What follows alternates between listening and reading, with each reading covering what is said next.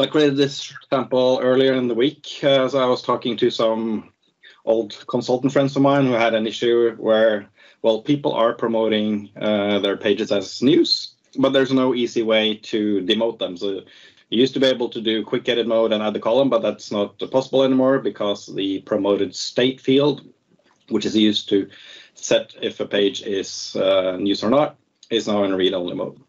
So so here's my regular page. Uh, I mean, you have this promote uh, option right now, and then you can do post as news on the site. And now this is news, uh, but there's no way to, to get back. So if I go to pages library, right? So here's my page, and I now have this button called demote, and I will click this, page is no longer promoted as news, but remember to republish your page. So I, I didn't add republishing to the page. So that means if I go back to the page, I have to republish it. And now you see the promotion is available again. Uh, so to do this, so there's a couple of things, uh, interesting things in this extension. Um, so one is the icon and getting uh, getting the icon up there and also getting the theme colors. So uh, what you have to do is the easiest way.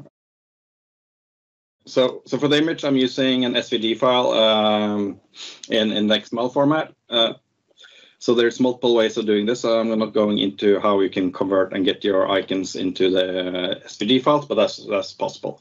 Um, but if you also want to get these as uh, get the theming colors, oh, let's do like this. Right. So if we so on the list view updated command, so, so this is this triggers when you when you when you pick an item. Uh, so I have this helper method here to get the theme color, um, which is very short. So basically what it does is it's using the global theme state object. So there's an there's tons of issues getting the current theme in an uh, in a list extension. Uh, but since since uh, since a theme is in a global state object, well, just let's uh, pull it from there, and then that allows you to sort of get get the different slots. If for some reason this object will disappear, we fall back to using the UI Fabric get theme, and hopefully that will sometime in the future give you the right theme uh, and not just the default blue theme. So, so that's just to get the color. Uh, so what happens here is I have the same SVG um, code, and then I do a, then we sort of, if we set for fill, so, so I just slot the color in here. Right? So that means it, just picking up the theme color and then putting that in as in, in the SVG, and that means when you deploy this to different sites, icon will be in in the right color. Uh, so thanks to Hugo for alerting me that icon URL, uh, you know, icon image URL is actually exposed on the command object. And then I'm checking um, also if you have permissions to edit uh, the item. So at the top here, just uh, using the page context to see, well, okay, you have add list items. Because if you can't add list items, you can't really uh, edit it. So that's checking on the permission if the option should show or not. Um, and then the real work, right? So fetching the fetching the uh, fetching the page and checking well if it is it already promoted or not. So that means uh, if I take this, so if I demote this right now, well, this is not demoted, so we can't really do it you know, two times in a row. Um, and then I'm checking is is it checked out to some other user? If it's checked out to some other user, well, you need to take ownership of it first. And then if everything is in order, you can then set the promoted state field to back to zero from two. That's, so that's what's happening here. Uh, but but the crux of it all is that you can't use the normal update command on list item. Since it's a read-only field, you have to use a validate update list item, which sort of skips past that read-only option, and you can set the value. So that um, so that's sort of what's blocking you for using a normal update and that's uh, basically it. So I'll show one more thing. Uh, so if you look at the elements XML. So if you deploy this to a site, so 119, that's a site pages library to ensure that it only appears in site pages.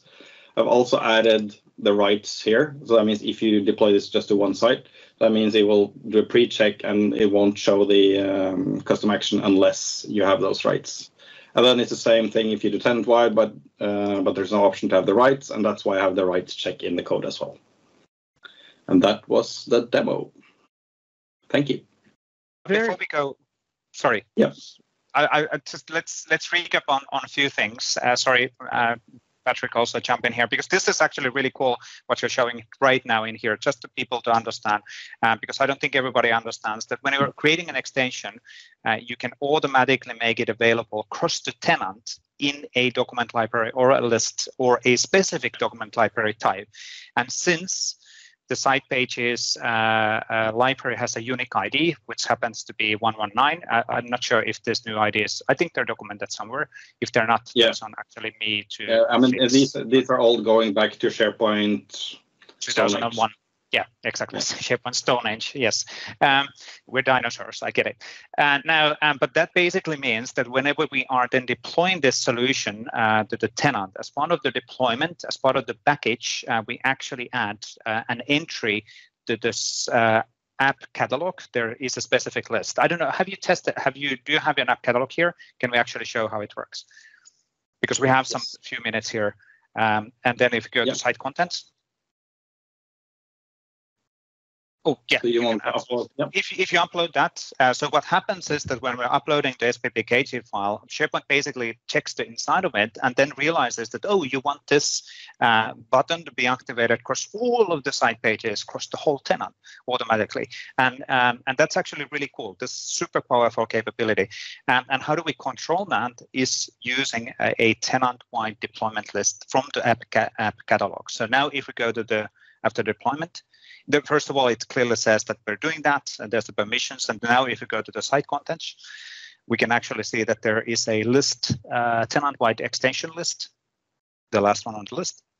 This one is the one where we control the one of the extensions which will be exposed across the tenant. So now we can actually see here, one of these entries is the one which you pushed in. Yes, for now we can say list template is 119. And that what happens on a runtime is that whenever SharePoint is rendering the list 119, uh, on the backend, we're double checking that are there any tenant-wide uh, extensions to be rendered, and then we basically on runtime render that. So immediately when the list, uh, the, the, item is in this list, it will be then activated across all of the sites within a tenant. And so we don't actually deploy anything on a site level on runtime when we're rendering in the site site site site, um, we actually check the content of this list, and then if the entry is in here, then we render the button. And but it's really really powerful way of pushing extensibility on a list and libraries, buttons and extensions and list your commandlets and executing your code then as part of the libraries as well.